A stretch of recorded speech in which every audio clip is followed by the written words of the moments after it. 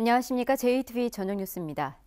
김재시 의회 의장의 딸이 지난해 김재시 무기계약직으로 채용되는 과정에 의혹이 커지자 경찰이 내사에 들어갔습니다.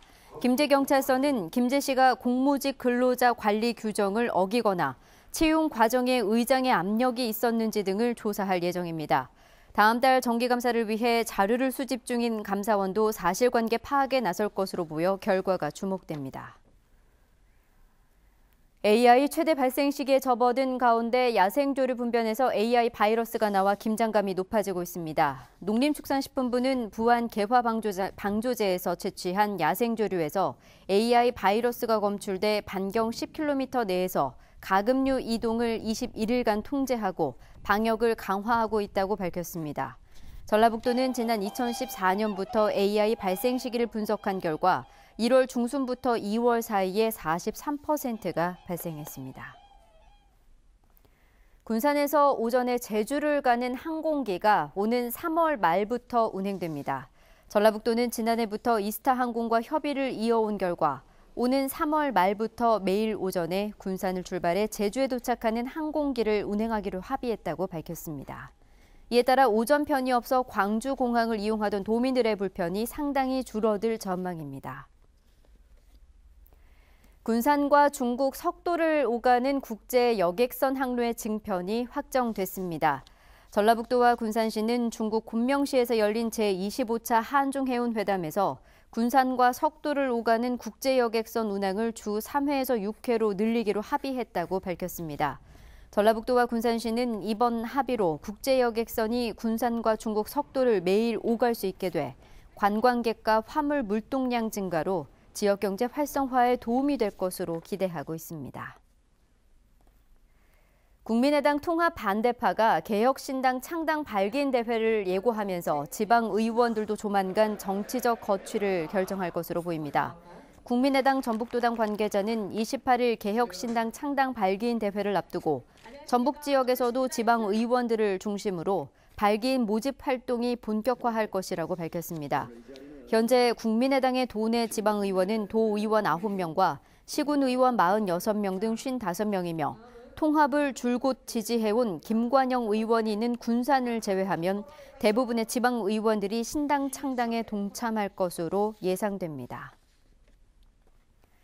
전북교육청이 2018학년도 평준화 일반고 학교 배정 결과를 도교육청 홈페이지를 통해 발표했습니다. 학교 배정은 선 지원 후 추천 방식으로 컴퓨터 프로그램을 통해 이루어졌으며 전주와 군산, 익산 등 36개 일반고에 9,601명이 배정됐습니다. 합격생들은 오는 22일부터 26일까지 해당 학교의 등록금 납부 등 입학 절차를 밟아야 합니다. 전주고용노동지청은 상습적으로 근로자 임금 수천만 원을 체불한 혐의로 건설업체 대표 62살 손모 씨를 구속했습니다. 손 씨는 지난해 3월부터 최근까지 자신이 운영하는 업체 근로자 30명에 임금 9천여만 원을 지급하지 않은 혐의입니다. 손 씨는 발주처 등에서 공사 대금 20억 원을 받고도 근로자에게 임금을 주지 않은 것으로 드러났습니다.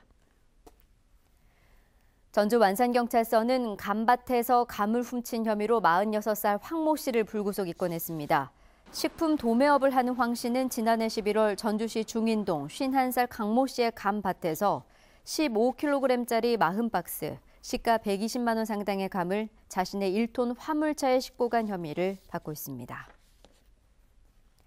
전북은 오늘 전주 5도 등 4도에서 9도의 분포를 보였습니다. 주말인 내일은 대체로 맑겠습니다. 미세먼지 농도는 나쁨 수준을 보이겠습니다. 아침 최저 기온은 전주 영하 4도 등 영하 8도에서 영하 4도를 보이겠고 낮 기온은 크게 올라 전주 8도 등 5도에서 8도로 오늘보다 1도가량 높겠습니다. 당분간 기온은 평년보다 높겠고 다음 주 화요일부터는 다시 추워지겠습니다. JTV 8시 뉴스 예고입니다. 김재시 의회 의장 딸이 지난해 김재시 무기계약직으로 채용되는 과정에 의혹이 커지자 경찰이 내사에 들어갔습니다. 사유지인 마을길 진입로 옹벽 설치를 놓고 땅 주인과 자치단체의 갈등으로 진입로가 열렸다 닫혔다를 반복하고 있습니다. 강한 독성 때문에 메탄올 자동차 워셔액 사용이 올해부터 금지됐지만 여전히 사용하는 사람들이 많습니다. 군산과 중국 석도를 오가는 국제 여객선과 군산에서 제주도를 가는 비행 노선이 확대됐습니다. 자세한 소식은 JTV 8시 뉴스에서 전해드리겠습니다.